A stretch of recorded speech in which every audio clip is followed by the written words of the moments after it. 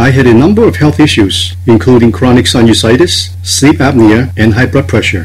Hello, my name is Tomas, a 71 years young, retired health professional and college professor from America. Before I started the Better Breathing Blueprint course with Austin, I had a number of health issues, including chronic sinusitis, sleep apnea, and high blood pressure. While searching for a natural method to deal with my sinus problems, I tried every solution under the sun, including nasal rinses, but this course is the most effective one by far. So far, my sinus problems are no longer an issue, while my blood pressure medication has been cut in half. The Better Breathing Blueprint course was designed for results and not simply providing more information. It was accomplished by first identifying the root cause of the problems and then applying the natural method solutions to fix them. Austin's course can help anyone to develop health awareness and reduce stress, which supports healthy habits and lifestyle. You will not be disappointed.